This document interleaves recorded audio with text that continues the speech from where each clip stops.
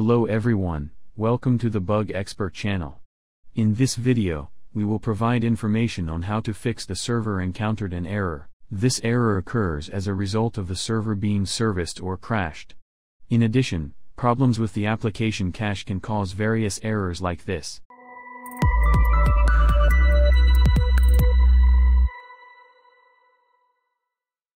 Maintenance work or crashing problems on the server can cause various errors like this.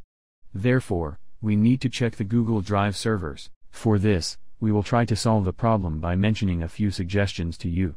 For this, you can check the server from Twitter or Down Detector by accessing the link in the article. If there is any maintenance work or crash on the server, you will have to wait for it to be fixed. The files in the temporary cache of the Omegle application may be problematic or incorrectly installed. To solve this problem, we can eliminate the problem by clearing the browser cache.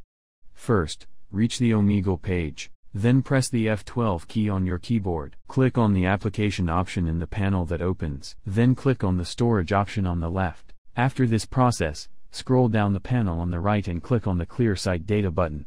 After performing the operation, you can check if the problem persists by refreshing the page. I suggest you disable all active add-ons in your browser.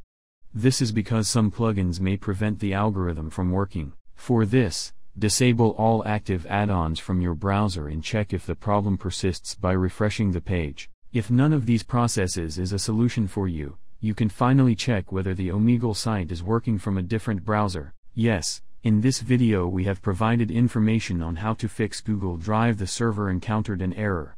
If the problem persists, you can comment.